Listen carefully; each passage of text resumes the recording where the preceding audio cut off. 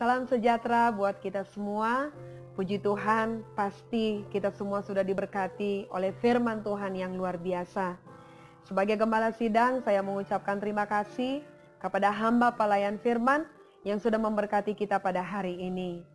Bapak Ibu yang baru pertama kali hadir, saya mengucapkan selamat datang di GKRI Diaspora Kopilas. Bapak Ibu Saudara bukanlah orang asing, tapi kita adalah satu sebagai keluarga Allah. Saya juga bersyukur untuk kesetiaan Bapak Ibu Saudara yang selalu setia hadir dalam ibadah minggu di GKRI Diaspora Kopilas. Maju terus dan Tuhan memberkati kesetiaan kita. Kita akan mendengarkan beberapa pengumuman dalam warta sepekan GKRI Diaspora Kopilas. Pelayan kebaktian dalam ibadah minggu tanggal 9 Juli 2017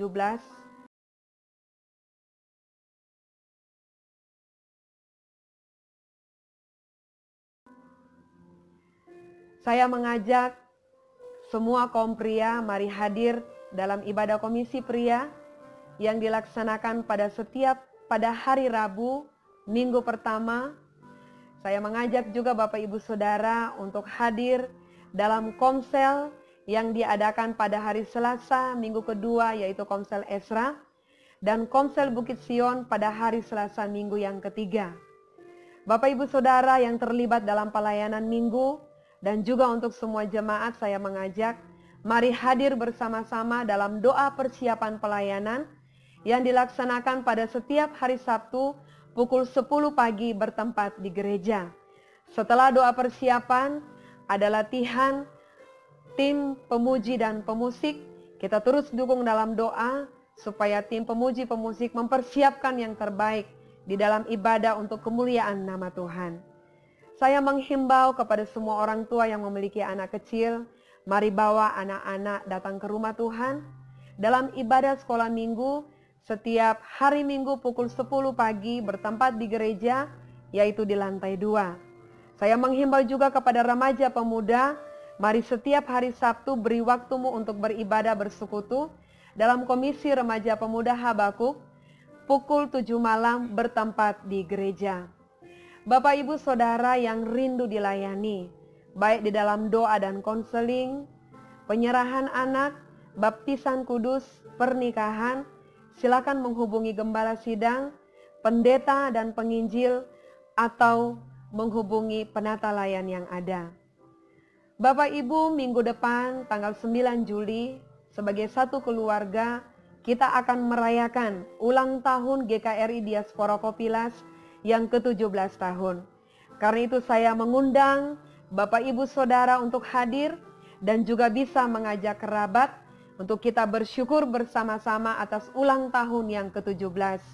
Dalam ulang tahun ini saya menghimbau dan mengajak mari Bapak Ibu Saudara berpartisipasi dalam pengadaan konsumsi.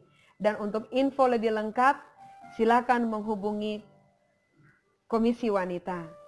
Kemudian dalam ulang tahun gereja yang ke-17 kita ada kegiatan berbagi kasih yaitu pengumpulan sembako.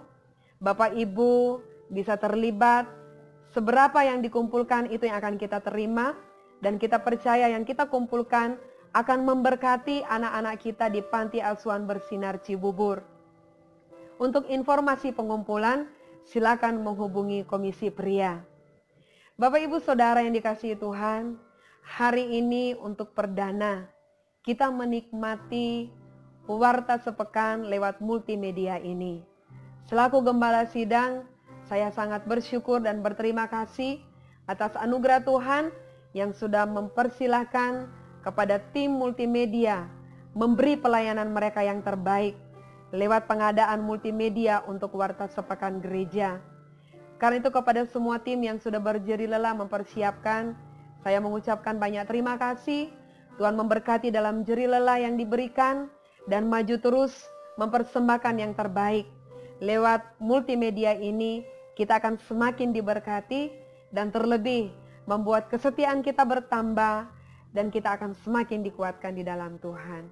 Demikian untuk warta sepekan pada hari ini.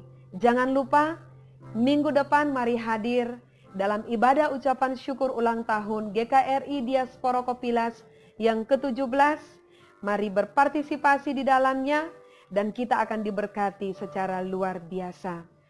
Terima kasih untuk perhatian Bapak Ibu Saudara. Selamat hari Minggu. Tuhan memberkati. Shalom.